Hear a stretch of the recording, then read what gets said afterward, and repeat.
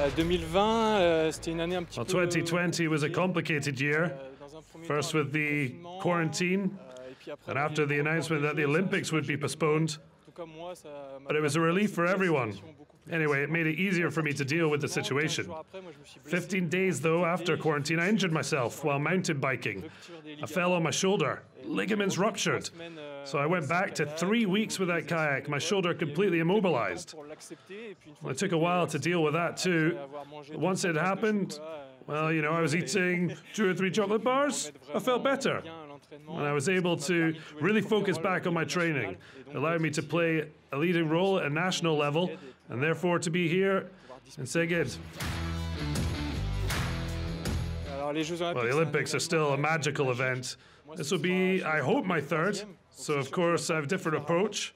I wouldn't say I'm jaded because it's still the Olympics. Olympiques, c'est tous les It's every four years, so trois événements comme that's only three times in the end. That's not a lot, but it's always the magic of the games.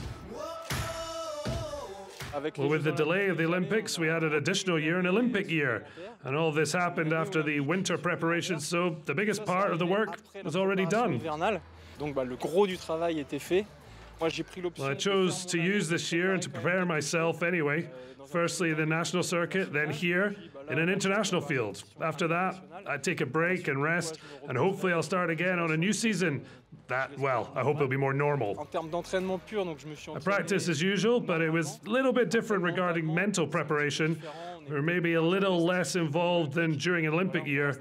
We're far from the deadline, but we remain focused on it, and we're not done at all. We won't spend three months, certainly, without practicing.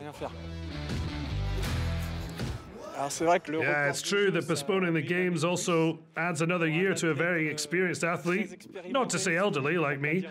It's an extra year, so it has to be handled a bit differently. You know, I'm not 20 anymore. un petit peu différemment, j'ai plus 20 ans. Au niveau mental, c'est Mentally, pas trop le it's not much of a problem. I still have the will, fun on the water. In the end, I don't really want to quit, so it extends for a year. Euh, mais je suis conscient But obviously, I'm aware my body is getting older, that I can't do just whatever. Recovery, for example, is a key part of preparation and a lot of things to set up to be able to play with the kids who are coming through. pour pouvoir jouer encore avec les petits jeunes qui arrivent.